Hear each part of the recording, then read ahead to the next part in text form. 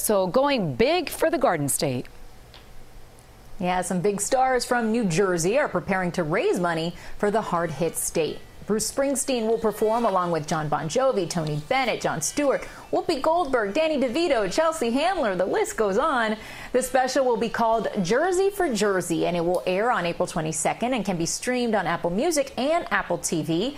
Money raised will go to the New Jersey Pandemic Relief Fund. The charity helps state organizations in getting resources to vulnerable communities across the state.